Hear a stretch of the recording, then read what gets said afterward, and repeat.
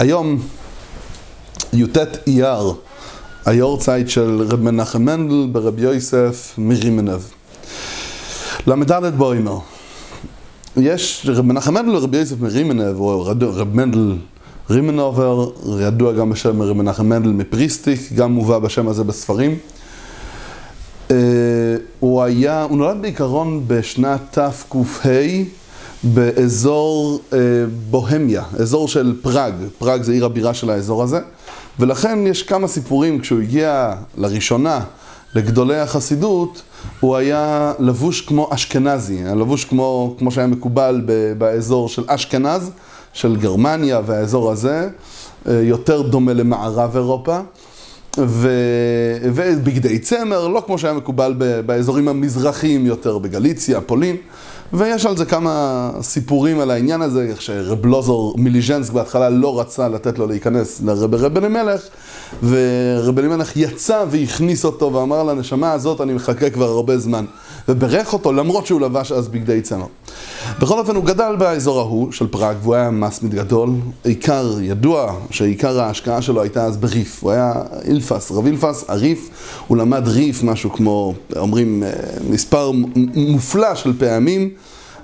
ושהוא למד ריף עוד פעם ועוד פעם, וטענו שצדיקים שהיה קשר לנשמה שלו עם הנשמה של הריף, יש סיפור שהריף התגלה אליו בחלום ועורר אותו לנסוע לפולין, לגליציה, לחפש באמת אצל הצדיקים שמה, וכך הוא הגיע לליז'נסק.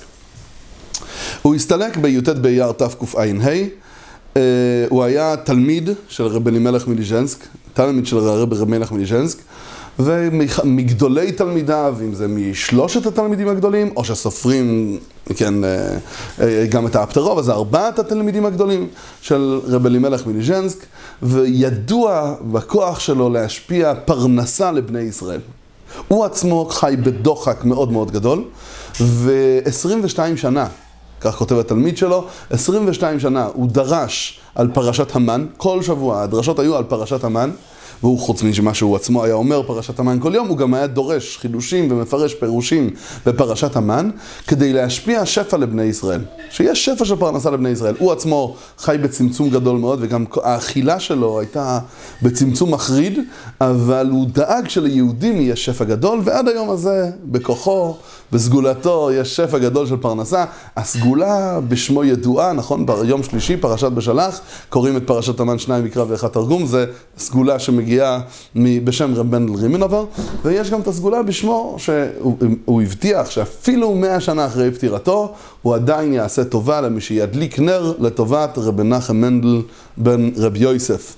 בפרנסה ובשאר עניינים, אבל הוא, הוא השקיע המון שליהודים יהיה טוב בנושא של פרנסה, ויש כמה דברים בעניין הזה. דבר ראשון, יש סיפור מעניין שמספרים על הלידה שלו, איך הוא נולד. אבא שלו, רבי יוסף, היה יהודי עמיד, התפרנס טוב, הכל, והוא יום, ואדם מאוד ישר, מאוד מסודר. יום אחד הפריץ שחי שם באזור, רצה, היה צריך לנסוע לאיזשהו צורך, היה צריך לנסוע למקום אחר, והוא רצה למכור את כל הנכסים שלו והוא ידע שהוא צריך לעשות את זה במחיר זול מאוד, כי אין לו אפשרות עכשיו לעמוד על המקח ולפרסם מכרז ולעשות את הכל. אז הוא אמר, ניגש לרבי יוסף הזה, ואמר לו, תשמע, אני יודע שאתה אה, אדם ישר, ואני רוצה דווקא לפרגן לך, לתת לך את זה, אז בוא, תן לי סכום כך וכך, ואני אתן לך את כל האחוזות שלי, אני אתן לך את הכל. זה היה באמת עסקה שעשירית מחיר. לשטחים גדולים והכל, אבל למרות שהוא היה אדם עמיד והיה לו כסף, סדר גודל כזה, כמו שהיה צריך בשביל העשירית של כזה עסקה גדולה, לא היה לו זמין, לא היה לו מזומן, הוא פשוט הלך, מכר את כל התכשיטים, את כל הדברים, כל מה שהוא יכל למכור, השיג את הכסף והולך לפריץ. בדרך שהוא הולך לפריץ, הוא רואה... אה, הוא שומע קולות, צעקות, הוא ניגש לשם, הוא רואה יהודי, מקבל מכות מהפריץ. מה קרה? הוא מברר את הפרטים, ומתברר לו שהיהודי הזה חכר את בית המרזח מהפריץ, ולא היה לו מה לשלם, לא היה לו מה לשלם, הוא שם אותו בבור, ועכשיו הוא מכה אותו. מזדמנת לפניו מצווה של פדיון שבויים. מצד שני, עסקת זהב, כן? עסקה כזאת שלא מזדמנת בכל יום. אבל מצד שני, פדיון שבויים.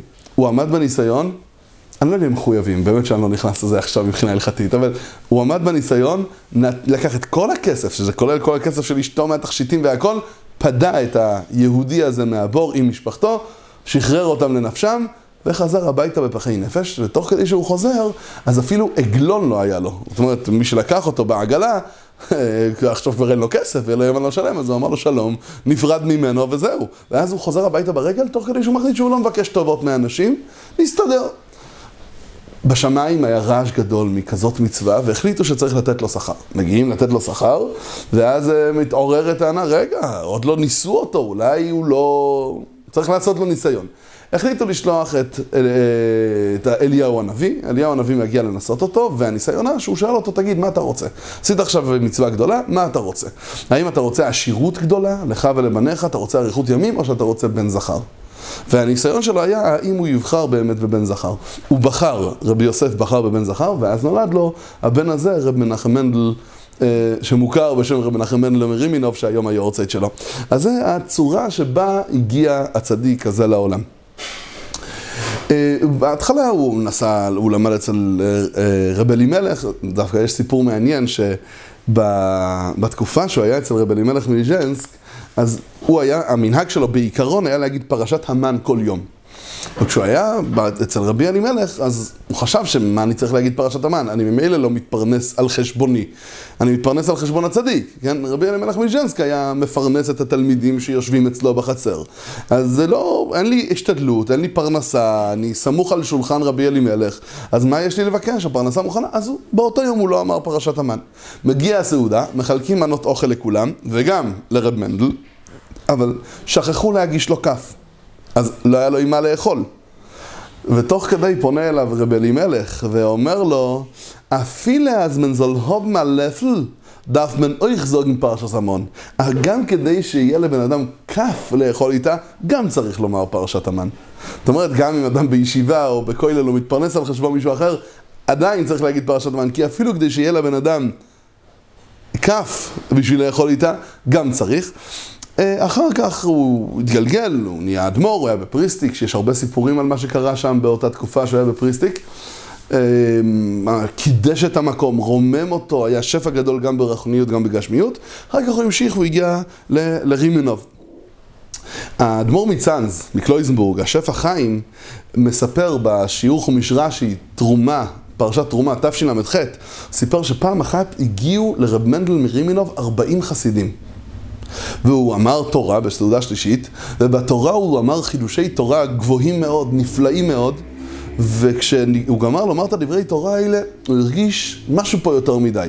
יותר מדי גם במספר החסידים. היום כשאנחנו מכירים מספרים הרבה הרבה הרבה יותר גדולים, אז נשמע לנו 40 חסידים, כי זה מספר וואו, כאילו, מספר הנמוך, מה אתה סופר את זה בכלל? אבל אה, בזמנם זה היה הרבה. בזמנם זה היה הרבה. דרך אגב, אתה רואה את זה גם בעוד מקורות מהתקופה. למשל אצל אה, רב אלימלך מליז'נסק, יש בתיאורים של קורות הימים, שיום אחד הגיעו 40 חסידים לראש השנה, ולא היה מספיק אוכל, כי לא התכוננו לכזה ציבור גדול, ולא ידעו מה לעשות. סיפור שלם סביב זה. אז אתה רואה שכש... כשהגיעו 40 חסידים לראש השנה לרב אלימלך מליז'נסק, זה היה סיפור. זה היה סיפור. דורות יותר מאוחר כבר היה יותר, כן? אבל אה, באותה תקופה זה היה המספרים, וכשרב מנדל מרים אליו רואה שיש לו 40 חסידים באים אליו, זה מספר עצום, זה כל כך הרבה. מה זה קורה פה? מה, מה הדבר הזה? ויותר מזה, הוא אומר, ויוצא לו פתאום כאלה דברי תורה נפלאים? הוא היה בטוח שזה כנראה ניסיון מגיע מצד הסטרה, ההכרעה, מהצד ההוא, שמנסים לרומם אותו, לנסה אותו, להגביה יותר מדי, בשביל שהוא ייפול והשם ישמור שהוא יאבד את הכל. הוא פשוט בניסיון. מה הוא עשה? זה היה במוצאי שבת. של אותה שבת הוא פשוט יצא מהבית ופשוט התחיל ללכת לכיוון ליז'נסק. יש עגלה, אין עגלה, אין לנסוע, יש איך לנסוע, ושם אה, האזור הזה של רימנוב זה אזור גבוה, הרים גבוהים, יש שם הרבה שלג, זה היה בחורף, והוא יוצא לדרך ופשוט יוצא בהליכה, אפילו אין עגלה, יש עגלה, הוא הולך. לליז'נסק, הוא חייב להגיע לרבי שלו, לרבה שלו, לרב אלימלך, בשביל לקבל ממנו תשובה האם אני פה מקליפת נוגה ואני מבולבל טוב ורע, וכל מה שהתרוממתי פה ושלחו לי משמיים חסידים והכל, זה רק בשביל להפיל אותי, זאת אומרת, מהצד ההוא שלחו לי את הדבר הזה, הוא פשוט נסער כולו יוצא לדרך, הוא מגיע לרב אלימלך מליז'נסק, נכנס, בוכה, הרבה ו-40 איש הגיעו, ויצאו לי דברי תורה. גבוהים מאוד, ואני... אז אמר לו רב אלימלך, בוא, תאמר לי את הדברי תורה האלה. אמר, אני מתבייש. זה, זה בטח דברי תורה של הסדרה אחת הכניס לי לפה, אני לא מעז, אני לא רוצה להגיד. רב אלימלך התעקש איתו, רב אלימלך ידע, כן, שזה לא סדרה אחת ולא שום דבר, התעקש איתו, שיגיד את הדברי תורה האלה. הוא אמר את הדברי תורה, ואז קם רבי אלימלך, נשקו על ראשו, ואמר לו, זה בסדר, משמיים שלחו לך את הדבר הזה, תדבר הלאה את הדיבורים האלה, טוב מאוד שבאים אליך, זה לא שום דבר גרוע. אבל uh, זה לא רע, זה לא רע. נראה לי שהוא מתאר, הוא כותב שם, שפע החיים, uh, כתוב שם בחומיש רש"י, שהקומרנר גם מביא את הסיפור הזה, וזה מתאים שהקומרנר יביא את זה, כי הקומרנר מדבר על הנקודה הזאת הרבה, שיש, הוא אומר, הצדיקים הגדולים נמצאים תמיד בספק הפנימי הזה, איפה הם באמת נמצאים? האם אני באמת טוב? אולי כל מה שקורה פה זה רק בשביל להעמיד אותי בניסיון. זאת אומרת, הם אף פעם לא בטוחים במקום שבו הם נמצאים. וזו תכונה שקיימת אצל משה רב רבינו, הוא אומר, ככה היה אצל הבעל שם טוב, ככה היה אצל, הוא אומר, אצל הדוד שלו, רבי הירש זיליצ'ויבר, הוא אומר, הוא מביא את זה מהרבה צדיקים, הוא אומר, עד גיל 40 או עד גיל 80, משה רבינו עד גיל 80 לא ידע, הבעל שם טוב הקדוש בעצמו אומר את זה, זה נמצא בבעל שם טוב... אה, על התורה, הביאו את זה בפרשת שמות, קומרנו כותב את זה, אה, אה, שעד גיל 80 הוא לא ידע מאיזה צד הוא באמת. ולכן הוא בעצם שואל, אסור הנא ואראה את המראה הגדול הזה, מדוע לא יבער הסנה? למה הקוץ שבי לא נשרף? אם אני כל כך עובד על עצמי ועדיין אני רואה בעצמי חסרונות, אולי זה אומר שאני באמת מצד הרע. ואת הספק הזה הוא ספק טוב שצריך להיות אצל האדם וצריך להיות אצל אצל הצדיק שהוא אף פעם לא בטוח בעצמו. כמה שהוא גובע ומתרומם, הוא תמיד, אולי הכל זה שקר אחד גדול. טוב, זה באמת נושא בפני עצמו. יש uh, סיפור מעניין שהיה עם אמירה של רב מנדל uh, רימנובר, שאקטואלי מאוד לזמננו, לימים שלנו. תקופת הקורונה וכל מה שקורה איתה, אבל זה קשור תמיד, כן, הדבר הזה, זה לא, הקורונה לא חידשה הרבה, היא הקצינה דברים, לא, לא חידשה הרבה. Uh, היה פעם שרב מנדל רימנובר הלך למקווה, הוא עושה את כל הדרך, מגיע עד למקווה, ואז מתברר שהמקווה, היה שם איזה בעיה, המקווה התרוקן, הוא לא יכול לטבול. טוב, אין מה לעשות, אז הוא חוזר הביתה. חזר הביתה, ואז הוא אומר, שהוא אמר למי שהיה איתו, הוא אומר, שאומר בן רימנובר, היום השגתי במקווה שלמות הרבה יותר גדולה ממה שמשיגים תמיד בטבילה. אומר למה? אומר בגלל שכתוב הרי שכל מי שרצה לעשות מצווה ונאנס ולא עשה, מעלה עליו הכתוב כאילו עשה. אומר, תמיד יש גם את הרצון של האדם. יש גם את מה שהוא חושב על עצמו, ויש את הרגשות שלו, ויש את מה שהוא מרגיש שהוא עשה. אבל כשאדם רצה לעשות ונאנס ולא עשה, אין את ה... אני פה בסיפור הזה. אין את הסיפוק. ההפך, הבן אדם לא עשה כלום, הוא מרגיש שהוא לא עשה כלום. אבל הוא רצה לעשות, ברצון יש לו את זה. ומעלה עליו הכתוב כאילו הוא עשה. העשייה הזאת היא שלמות הרבה יותר גדולה מהעשייה רגילה שאדם עושה ובאמת מצליח לעשות. והרעיון הזה נכון גם לגבי מקווה וגם לגבי עוד דברים בחיים. וצריך לדעת שיש את היסוד הזה שכל יהודי, מתי שהוא רוצה לעשות טוב ומשתדל לעשות טוב, והוא נאנס ומשם, ואי אפשר לעשות את זה. השלמות של עשייה במצב כזה של נאנס ולא עשה, היא הרבה יותר גדולה מאשר עשייה בפועל. כך לימד אותנו רב מנדל רימנובר. יש משפט שאבני סוסחור מביא אותו הרבה, בהרבה נושאים. יש דבר אחד שעומד בראש, זה מה שהוא מביא באיגר דה פירקה, באויס זיין, ואבני סוסחור מביא את זה בעוד כמה מקומות. הוא אומר שאלה נוראה, שאלה באמת קשה. הוא אומר, אנחנו רואים במציאות ילדים יושבים ולומדים תורה, ומגיעים לגיל 16, 17, 18, והשם ישמור ויציל, בועטים בתורה, במצוות, והולכים למקום אחר. אומר, איך דבר כזה יכול לקרות? אנחנו הרי יודעים שהלוואי אותי עזבו ותורתי שמרו, שהמאור שבה מחזירן למוטב, אפילו אדם שהוא, שהוא הוא, הוא, אין לו כלום עם תורה, כלום, לא שומר תורה ולא מצוות, אה, גוי גמור, כן, גוי זה גוי, גוי גמור זה יהודי בדרך כלל, אה, גוי גמור, והגוי הגמור הזה ילמד תורה, המאור שבה, האור שבתורה, יחזירה, יחזירנו למוטב, יחזיר אותו לתשובה. אז איך יכול להיות שילד גודל בחיידר, לומד תורה, גודל בישיבה קטנה וכולי וכולי, ולומד תורה הרבה שנים מרבנים צדיקים והכל, ויום אחד הוא עוזב את הכל? איפה, איפה הכוח התורה? איפה ההשפעה של תורה? מביא בני סוסחו בשם רב מנדל רימינובר, שהבעיה היא שהשכר לימוד ששולם עבור הילד הזה זה כסף לא נקי. כסף לא נקי כי יש בו בעיה של גזל ויש בו בעיה של רמאות והונאת דברים וכל מיני היתרים דחוקים בריבית וכל מיני דברים כאלו. וכשהכסף הזה לא נקי הוא הופך להיות הרס, הרס, הרס עם א' והרס עם ה' וזה נכנס דרך השכר לימוד שהלימוד תורה הוא לימוד תורה נגוע ולא נקי וכשהלימוד תורה נגוע ולא נקי, לא רק שהוא לא יגרום לילד להתקרב אל התורה, אלא ההפך, הוא, הלימוד עצמו יגרום לילד להתרחק מהתורה, רחמנא ליצלן. הוא אומר, ואתה רואה את הדברים האלה, הוא אומר, לא תמיד זה עניין של איסורים, כן? האם זה אסור אסור? צריך להיזהר בדיני ממונות, כי המחיר על דיני ממונות שהם לא כדין, השם ישמור ויציל. הוא אומר, וכמו שמצאנו בחז"ל, הגמרא אומרת שלא מביאים עופות לגבי המזבח, בדרך כלל, למה? בגלל שהזפק, שיש להם זפק, כי הזפק שלהם הוא מלא בגזל. עכשיו, עוף לא נגזר, עוף לא, אין, אין איסור על עוף אה, לנקר של מישהו אחר, אין לו איסורים והיתרים. ובכל זאת זה שנוא לפני הקדוש ברוך הוא. אומר רב מנל רימנובר אותו דבר, כסף לא נקי הופך להיות רחמנא ליצלן להרס, ולכן חשוב חשוב מאוד לשמור בפרט בכסף של השכר לימוד, שזה יהיה באופן של לכתחילה כמה שאפשר, ובעזרת השם כך התורה תתברך, והיא תהיה באמת מאור שבא, יחזירנו למוטב וירומם את התלמיד, ירומם את הילד כמו שצריך. וזה גם לימוד שלמדנו מרב מנדל רימנובר.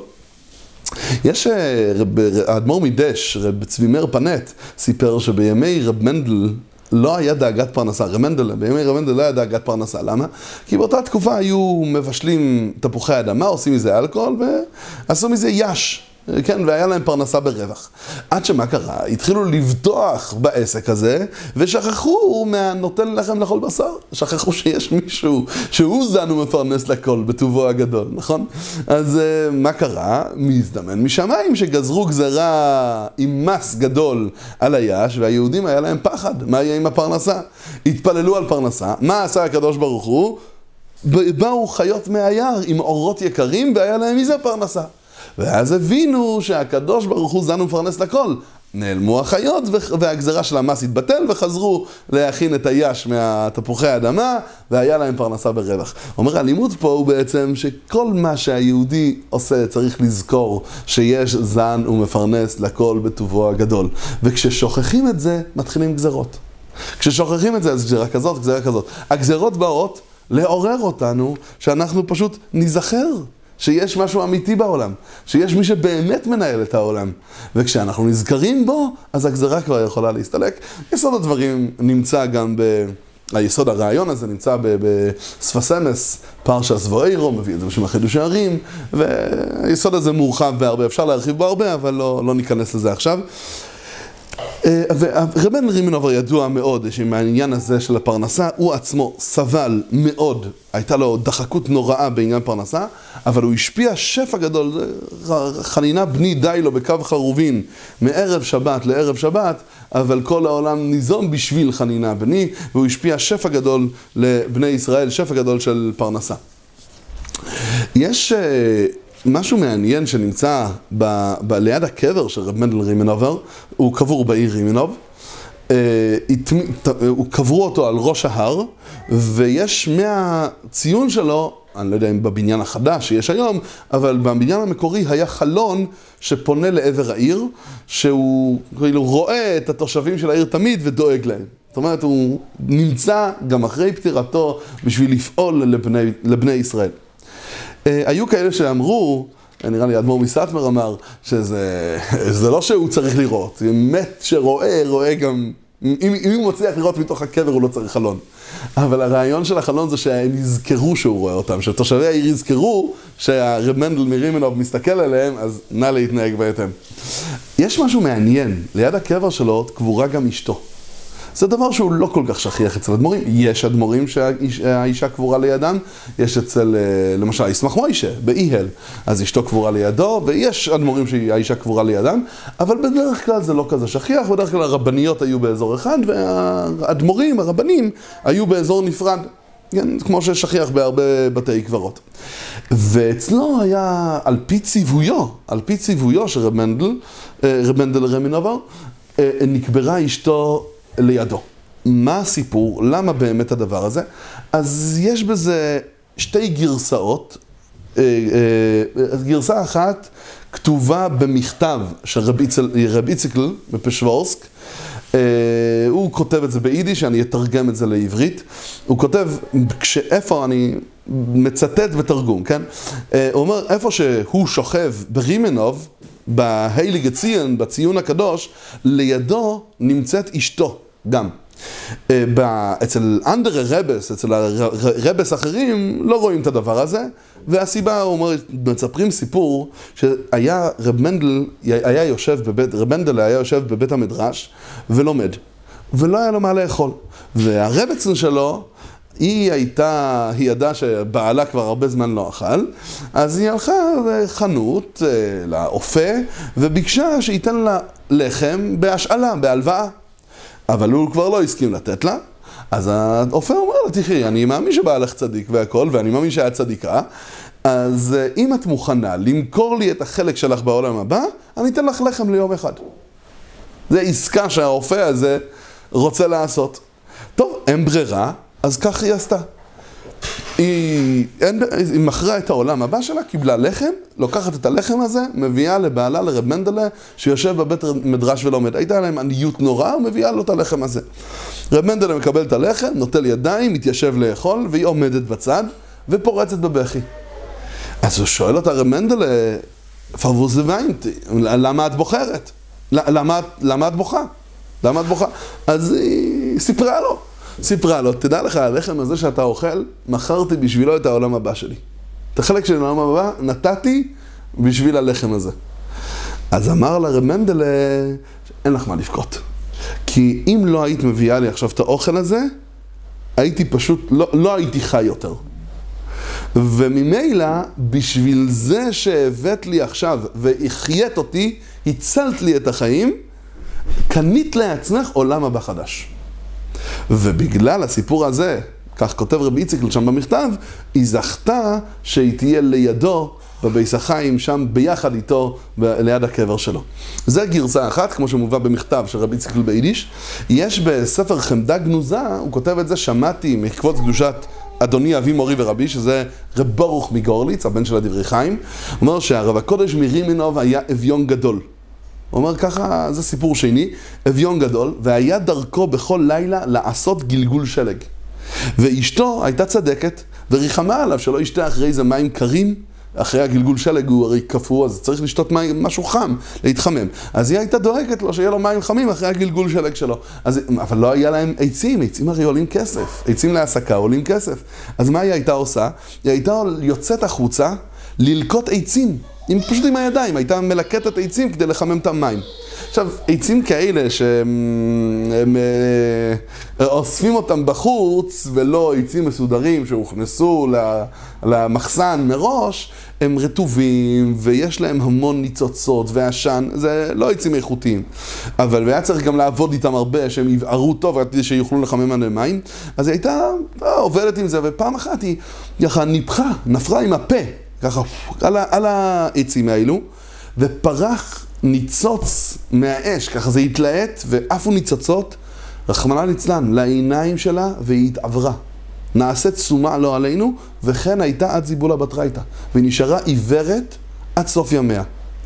ורב מנדל רימנובר הבטיח לה אז שהיא תהיה יחד איתו בגן עדן. בגלל הסיפור הזה. יש עוד כמה סיפורים עליה, הייתה אישה מאוד מאוד מיוחדת. מסורה מאוד לרב מנדל, והיא הייתה צדקת גדולה בפני עצמה. מספרים עוד, עוד בספר ההוא בחמדה גנוזה, הוא מספר עוד סיפור, עוד שמעתי מהאמור, כן, מרב אורך מגורליץ, שפעם הלכה אשתו של הרב רב מנדל ליער ללקוט עצים הנקרא אפלך, שנפל מהעצים. כן, כל מיני עצים שנופלים. והיער היה רחוק מהעיר כחצי פרזה. לקחה עם השק, הרבנית, לקחה את השק, נתנה את השק על כתפה והולכת הביתה. והיא הייתה אז בהיריון. והיה קשה לה מאוד לישא עוד את השק, היה קשה לה, פשוט כבד. היא, היא, היא אמרה, היא הרגישה שמצידה זה פיקוח נפש. אם היא ממשיכה לסחוב שק עם עצים מהיער, זה פיקוח נפש, פשוט שפכה את כל העצים האלה, האפלך האלה, מהשק והלכה הביתה. כשהיא עברה בדרך הביתה, היא עברה ליד הבית מדרש, והיא שמעה את רב מנדלה, בעלה, שהוא מתפלל, והוא צועק בתפילה, הללוקו. שירו להשם שיר חודש, והוא שר בקול רם ומתלהב במילים שירו הללוקה, שירו להשם שיר חדש, והרגישה שפשוט בא לה חיות חדשה. היא חזרה ליער, ליקטה את העצים והביאה אותם הביתה שיהיה לה בשביל להכין בשבילו. וזה בעצם עוד סיפור שיש על אשתו של רב מנדל, שהייתה באמת, והיא באמת נמצאת לידו, מי שנמצא שם בציון יכול לראות, היא נמצאת ממש אה, צמוד אליו. יש, אה, יש, יש באמת יש, יש הרבה דברי תורה וחידושים שלו, נחזור פה על אה, נקודה אחת קצרה, יש את הסיפור של נפוליאון, שאולי צריך להרחיב בזה בהזדמנות.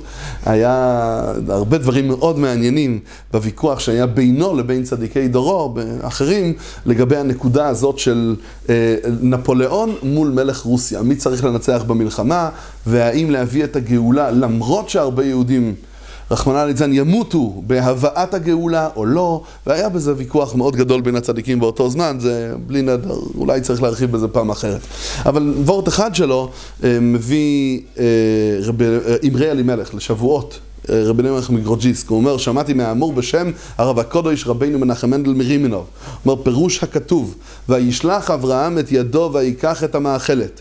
הוא אומר שהנה אברהם אבינו היה מקדש ומתאר את כל איבריו עד שהאיברים בעצמם הרגישו רצון הבורא ברוך הוא, ולא היו יכולים לעשות רק מה שהוא רצון השם. לכן כשרצה אברהם לשחוט, היה צריך לשלוח את ידו בכוח, כי היד בעצמה לא רצתה לשחוט. למה? כי שהיה מרגיש באמת רצון הבורא, שזה, שהוא לא יעשה את השחיטה הזאת ליצחק. ואמר לו המלאך, אל תשלח ידך, כי באמת כך היא רצון הבורא יתברך. עד כאן זה פירוש של רב, מנדל, מנחם מנדל מרימינוב. יש uh, משהו מעניין, uh, כל מיני סיפורים שהוא היה מספר. יש כמה וכמה סיפורי פלא מרב מנדל רימינובר, אה, נחזור עליהם, באמת, אה, נחזור עליהם כי זה דברים אה, מעניינים. יש ב... הנוסח הזה הוא מספר שבע רצון, שנה ג' קונטרס ו', מובא גם בספר דברי תורה, ומובא בכמה מקומות, בכמה גרסאות. הסיפור הזה הוא בגרסה שהחקל יצחק מספינקא היה רגיל לספר כל שנה. בפרשת תולדות, בשם רב מנחם מנדל מרימינוב, את התיאור של החלוקה של יעקב ועשו. יעקב אבינו בחר בעולם הבא, ועשו בחר בעולם הזה. ויגדלו הנערים, והסכימו שניהם לחלק ביניהם נחלת שני עולמות. יעקב לקח לחלקו את עולם הבא, ועשו לקח את עולם הזה. יעקב, איש טעם, יושב אוהלים. אז מה יושב אוהלים עושה? מה העבודה שלו? הקים ישיבה גדולה. והתקבצו אצלו מלא תלמידים, מקשיבים לקולו, ויעקב אבינו היה ראש הישיבה, ולמד עמהם תורה. עשיו, מה הוא עושה? איש יודע ציד, איש שדה, נוסע בסוס ועגלה, מיער למדבר, עם קשת, לצוד ציד, להביא אה, חיות, בהמות, עופות. יום אחד עשיו נוסע ביער לצוד ציד, והעגלה ירדה מדרך המלך, והוא טועה בין עצי היער, הוא לא מוצא את הדרך שלו. זה ימות החורף, והשלג, והכפור, הכל ככה מכוסה. ועשיו טועה שלושה ימים, וגם אין לו אוכל וצידה שהוא לקח איתו, נגמר. עשיו עייף, צמא, רעב, וקר לו מאוד מהקור והכפור, כן, זה לא עשיו שגר פה בארץ ישראל, זה עשיו של אה, רימינוב, כן. טוב, וביום השלישי לעת ערב, השמש שוקעת, חושך, עשיו מטפס על עץ גבוה לראות אם הוא רואה מרחוק איזה מקום יישוב והוא רואה איזה אור, אור מרחוק. עשיו שמח, יש אור, יש בני אדם, עולה על העגלה עם הסוס העייף והרעב, נוסע ועשיו מגיע עייף ורעב, צמא, רועד מקור ומתברר לו שהוא הגיע לבית מדרש של יעקב אבינו. כשעשיו מגיע לשם, בניין גדול, פותח את הדלת, נכנס לבית מדרש מתעלף. אנשים רואים, אה, בני הישיבה רואים אה, מישהו חולה, רצים אליו, מקימים אותו, מעוררים אותו, נותנים לו לישון, נותנים לו לאכול, מחממים אותו, לאכול, לשתות עד שהוא מתאושש. אחרי שהוא ככה מתאושש, מתחיל לשאול מאיפה באת, הוא מספר להם, אני עשו, אח של הראש הישיבה שלכם, אח של יעקב. אה, באים ואומרים ליעקב אבינו, תשמע, אחיך נמצא בישיבה. יעקב אומר, טוב, תנו לו הכל. עובר שעה, שעתיים, עשיו חוזר לכוחות שלו, נכנס לבית מדרש לראות את אחיו, הוא רואה ישיבה גדולה, מאות תלמידים, יושבים ולומדים מראש הישיבה, דורש שיעור. ואוחז אז באמצע תוספות, בסוגיה של הייתה לה שעת הכושר, במסכת בבא קמא פרק מרובה, דף ע"ז עמוד א'. יש שם שורה אחת גמרא ועמוד שלם של תוספות. טוב, עשיו מחכה עד אחרי השיעור, וכשאחר כך יעקב מקבל אותו לשלום, עשיו מתחיל עם טענות ותביעות. הוא אומר, אנחנו הסכמנו בינינו שאתה תיקח עולם הבא ואני אקח את העולם הזה. אני, עולם הבא, ודאי שאין לי. אם היה לי לפחות עולם הזה, הייתי שותק. אבל אני רואה שגם עולם הזה אין לי. אני צריך לנדוד, אני נוסע בעגלה, ביערות, מדבריות, מקומות סכנה לצוד חיות. לפעמים אני מסתכן סכנת מוות, ואני הולך למות מרעב, מצמא, מקור, חום. ואתה לקחת לך במרמה גם את העולם הזה. אתה יושב לך בבניין גדול, תלמידים מקשיבים, משתעשעים בריתחא דאורייתא, כל הגה יוצא מפיך יעשו, בית חם בחורף, בית מקורר בקיץ, יש כאן לאכול, לשתות, הכל בהרחבה, איפה היושר? טוב, יעקב אומר לעשו, תשמע, אתה צודק באמת בכל הטענות שלך? לו יהי כדבריך, בוא נעשה כמוך, בוא נתחלף. אתה תיתן לי את הסוס והעגלה, ואני נותן לך עכשיו את ההנהגה של הישיבה עם כל התלמידים. יעקב לוקח את הסוס והעגלה ונוסע משם, נשאר את הישיבה עם עשיו. יום למחרת, התלמידים מתאספים, מחכים שעשיו ימשיך את השיעור, באמצע תוספות, כן? תוספות בכמה דף ע"ז. אבל עשיו, לא, מחר תעשו עוד הכנה לשיעור, דוחה אותם. טוב, ביום הראשון הוא לא אמר להם כי הוא חלש מהדרך. ביום השני הוא טען שהוא עוד לא הכין את עצמו לשיעור מספיק. ביום השלישי היה עוד תירוץ, ובינתיים, אה, שישמשו את התלמידים, זה כן, שיביאו לו אוכל, שידאגו לו, שהכל טוב, אבל למסור שיעור הוא לא רוצה. עברו כמה ימים, הבינו התלמידים שעשיו לא יכול לומר שיעור, זה הסוד, זה הסיפור, התגלה, יצא המרצע מן השק, וכן, הקרחת מהעיקרון. לכן הוא משתמט. התחילו התלמידים לעזוב את הישיבה. אחד אחד, מדלת צדדית, עשיו לא שם לב, מצאו את יעקב בעיר הסמוכה יושב בבית מדרש לומד, התחילו עוד פעם לשמוע ממנו תורה.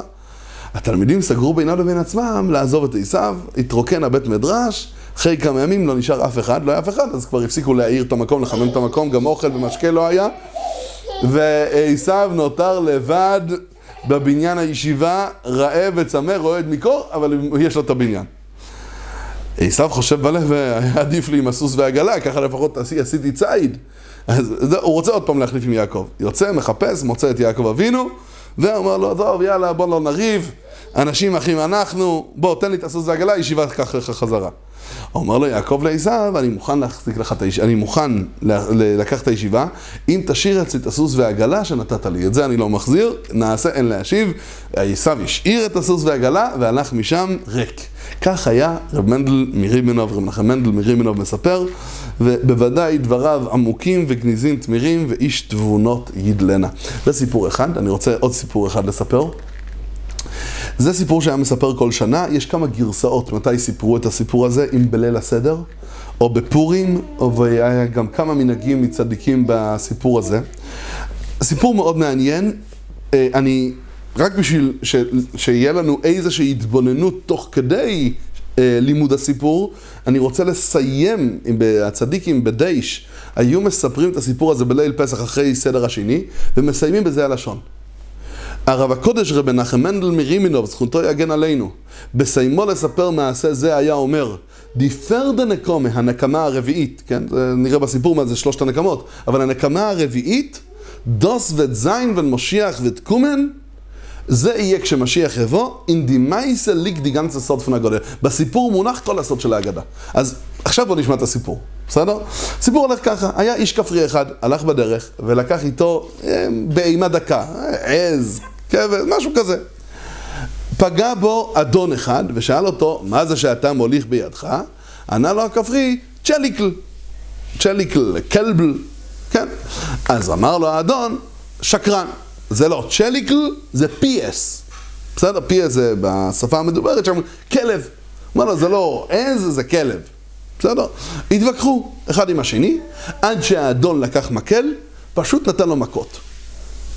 על זה שהוא העז להתווכח איתו, להגיד שהעז הזאת, הוא אמר, אותו אדון אמר שהעז היא כלב, ואותו אחד התעקש שהעז היא עז ולא כלב, חטף מכות.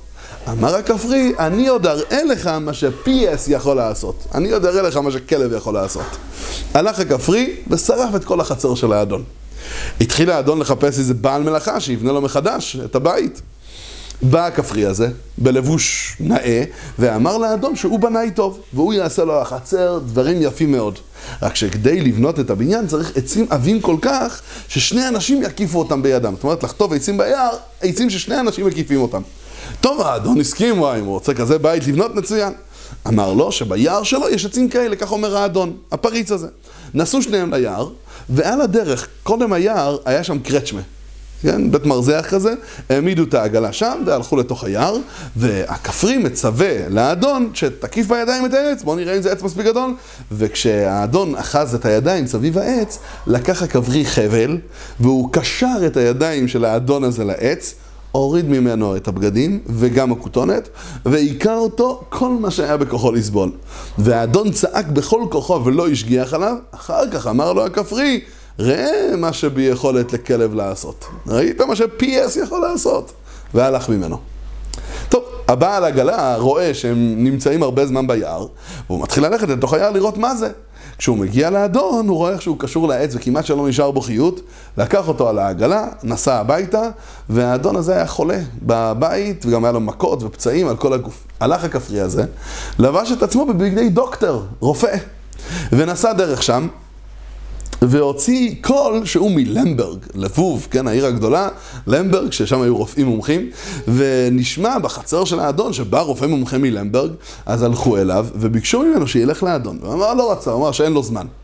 התחילו לבכות לפניו, שירחם עליהם וילך לאדון, הסכים לבקשה שלהם, בא לאדון החולה, ביקר אותו ואמר לו שיש לו רפואה אחת, שימשכו את כל גופו במרקחת מהש. מהש זה סוג של זפת שהם היו מושכים על הגלגלים של העגלות וזה יהיה מונח לו על הגוף כמו רבע שעה. עכשיו, ודאי שיהיה לו איסורים גדולים מהמהש הזה והוא כנראה יצעק הרבה, אבל זה הרפואה שלו. כי זה ישרוף לו את כל הבשר הגרוע וזה מה שצריך לעשות. הסכימו כולם, וגם האדון הזה אמר, טוב, אם זאת הרפואה, זאת הרפואה. טוב, הוא אמר שכולם צריכים לצאת מהבית. רק הוא יישאר לבד עם האדון כשהוא יעשה לו את הרפואה הזאת, כי הוא מפחד שאם יהיו בחדר בני משפחה שלו ויראו את האיסורים שלו, הם ירחמו עליו ויורידו לו את המהש הזה. לכן עדיף שכולם יצאו החוצה והוא בעצמו יהיה שם לבד איתו. כשיצאו, כולם יצאו, הוא סגר את הדלת, לקח את האדון הזה, קשר אותו אל השולחן, לקח מקל והיכה אותו עד אין לשער, ובחוץ שמעו את הצעקות שלו, של האדון, וחשבו שזה בגלל המעש הזה. ואם ככה זה טוב מאוד, על ידי זה יהיה רפואה. כשהוא ראה שהוא כבר לא יכול לסבול יותר, הוא הלך ממנו ואמר לו, תראה מה ש-PS יכול לעשות. כשהוא בא לפתח החיצוני, אז הוא אמר לאלה שעומדים שם, שנכון שאל תיגשו אליו עדיין, רק תנו למש לנוח עליו עוד כמה דקות, והעגלה שלו הייתה עומדת שם בחוץ, והוא חיכתה לו, והוא ישב בעגלה, אמר להם שאין לו כבר זמן לחכות פה, והוא נסע. אחר כך כשבאו לחדר של האדון וראו מה שעשה לו הכפרי הזה, אבל כבר לא יכלו לרדוף אחריו ולהשיג אותו, טוב, עשו לו תרופות עד שהתרפא. כשהתרפא האדון, הוא היה רגיל לטייל בגינה שלו, והכפרי ידע שהאדון הולך בדרך הזאת, אז הוא ביקש מאחד שייקח צ'ליקל, צ'ליקל זה אותו עז. מדוברת, כן, מתחילת הסיפור שעליה היה ויכוח אם זה צ'ליקל או פייס, אם זה או כלב, וייקח אותו ביד. וכשיגיע לאותו מקום שעשה לו סימן, הוא ילך אליו ויגיד לו, תראה מה ש-PS יכול לעשות, ומיד תברח. האיש הזה לא ידע כלל אה, מכל המעשה שהיה מקודם, ועשה את בקשתו. הכפרי התחבא בתוך היער קרוב לשם, וכשאמר האיש לאדון את הדברים האלה, תראה מה ש-PS יכול לעשות, וברח ממנו, אז האדון ציווה לבעל העגלה שילך מהעגלה וירדוף אחרי האיש הזה כדי שהוא יוכל לנקום בו. והאדון נשאר לבד בעגלה.